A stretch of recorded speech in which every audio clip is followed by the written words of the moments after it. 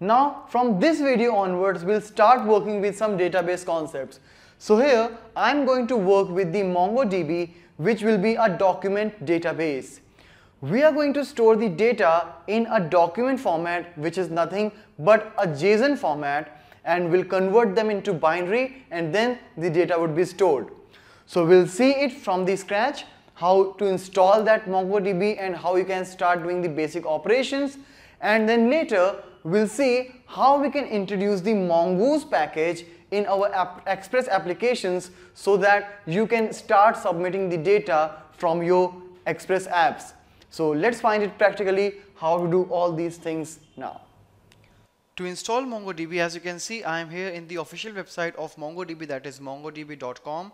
Right here in the top, I am getting the download button and as soon as I click there, I'll be in a page where I'll find the different options for downloading this MongoDB. As I'm working in the Windows machine, so I'm here, uh, you can choose your desired operating system and start downloading. So clicking on this, I will start downloading this MSI file. And as you can see downloading is begin. I'll start it as soon as the downloading is done. Now let's execute this MSI file.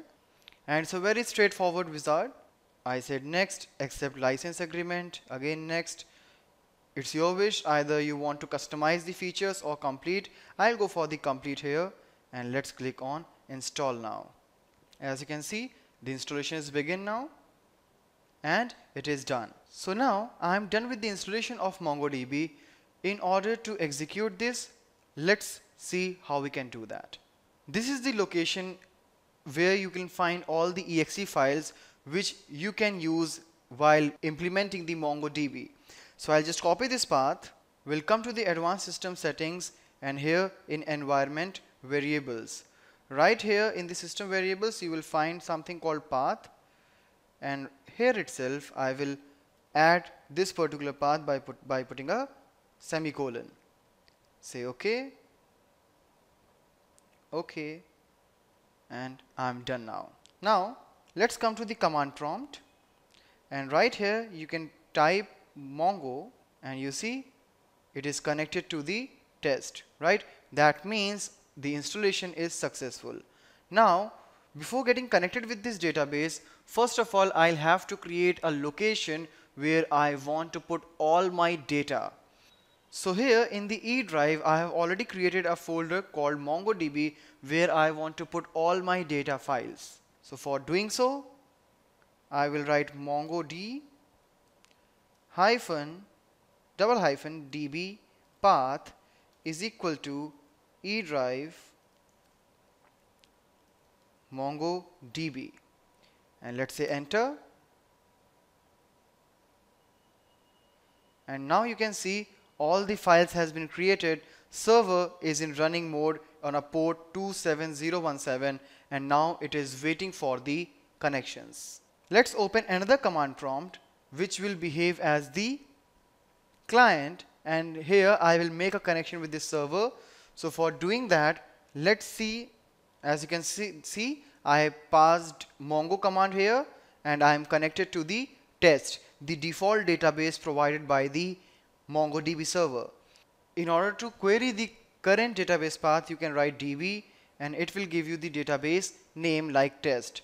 If you want to switch to another database or if you want to create a new database then want to switch, use the use command. And here I'll say my db, use my db. Since right now I don't have any database with this name. So first of all, it will create a database and then it will switch to this particular database. So again, if I'll query DB, it will give me my DB. Now in order to create a new data here, I will have to write DB, that is the database. Now I'll have to create a collection. Let's say my collection name is tutorials and in this tutorials I want to insert a new document. That document will be a JSON data. So here inside, I want a couple of fields in my JSON data that is topic. Let's say topic as MongoDB and another field as description. So let's execute this and you see one inserted. That simply means like one document has been inserted in this collection. Similarly, you can enter as many as documents as you want.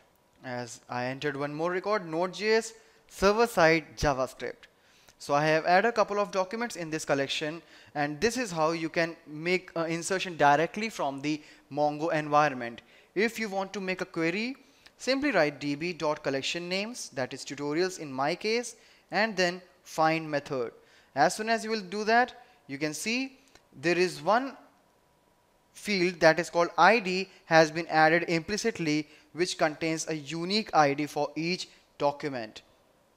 If you want to read it even more clearly, you can just add one pretty method right here and now it is more readable. So this is how you can do the things directly from the Mongo environment. Let's see how we can do it now from Node.js.